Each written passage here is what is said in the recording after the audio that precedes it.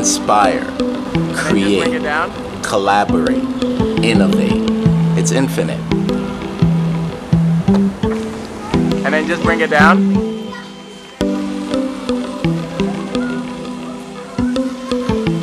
The definition of a makerspace is a place where students can create.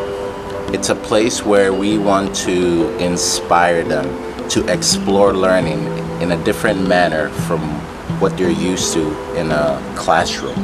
The classroom deals with a lot of theory, but if we take that theory and put them in a, in a space where they can actually get into that hands-on learning, using that theory and actually create it, that hands-on learning gives them a different way to actually absorb that learning.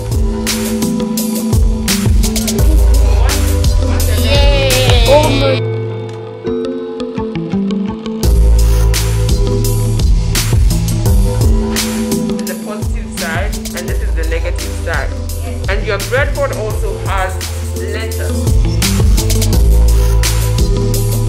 School becomes more interesting to them because they're actually participating in the learning.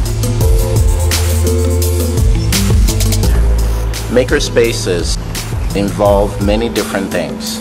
So, you know, electronics, robotics, yes, woodworking, um, sewing, uh, laser cutting, programming, or some combination of all of those.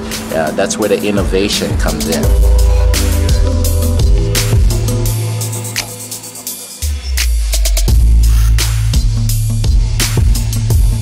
The tools don't define what a makerspace is. Rather, we define it by what it enables, which is the idea of making.